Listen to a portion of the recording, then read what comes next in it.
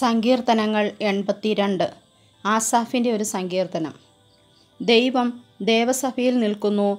അവൻ ദേവന്മാരുടെ ഇടയിൽ ന്യായം വിധിക്കുന്നു. നിങ്ങൾ എത്രത്തോളം നീതികേടായി വിധിക്കുകയും ദുഷ്ടന്മാരുടെ മുഖവശം പിടിക്കുകയും ചെയ്യും.